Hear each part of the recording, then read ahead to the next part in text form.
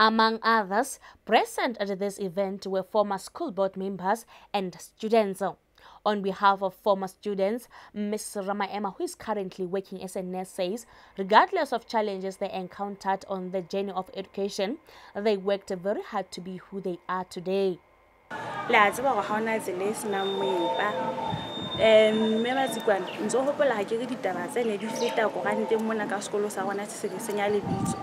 Ntate pholo wena o ntse o gopola tsane tse o ne thwe re jala le banna ba di-trucka empa taba eno ga e ka ba ya re kgathatsa matlho e ile ya re ruta gore re tlameya go fitlhela seo re se tlhokang re ile ra tseba gore gore o fumane ntho e batlang ga o tlo e thola fela o tlameya o e sebeletse Furthermore, the Diodi High School's principal, Mr. Tebohopulu, thanked all those who contributed towards the school development.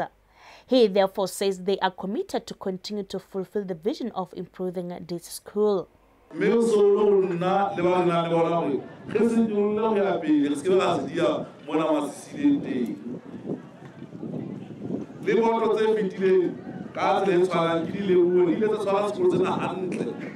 ke tate mona le ena o ke ke tate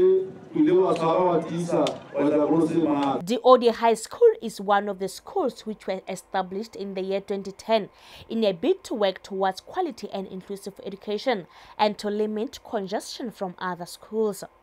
The Deputy Minister of Education, Honorable Mapoka Mutubudi, says Lioli High School's improvement is the school board, parents, teachers as well as students' responsibility. Bo sekolo sena se lokelang ho hola ka sona ha ke dihella dikgala ke rata ho bua le lona bana ba ka. Batswadi ba lona ba iteletse ho le tshehetsa hore le rutehe. Matitjhere le ona ka mokgwa o tshwanang a teng mona ho le tshehetsa. Rona bohle ba teng mona re rata hore le sebetse hantle. Hlompho ke yona ntho ya bohlokwa-hlokwa katlehong ena ya lona ha le hlompha le tla tseba ho lemoha ka pele dintho tsa masawana mme le diqobe When the school started operating in 2010, it enrolled 150 students. The number is said to have now increased to 716.